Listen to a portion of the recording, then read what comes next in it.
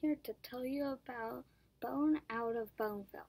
According to Common Sense and Media, this book is for grades 3 through 6. Vote for Bone because it is a fun, sad, and great tale by Jeff Smith. Bone is a nine book series that I know you will love. Go Bone!